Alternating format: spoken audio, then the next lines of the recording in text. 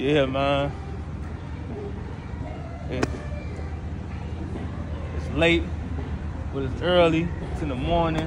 We down in Canton, Ohio. Just wrapped up an insurance call.